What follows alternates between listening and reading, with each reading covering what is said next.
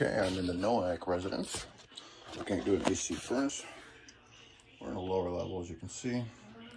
That's a 21 inch, 100,000 BTU Lennox, 80%. Uh, more than likely a three ton system. I haven't looked at the air conditioner yet. Pretty straightforward, good space, access and light. 16 by 24 filter.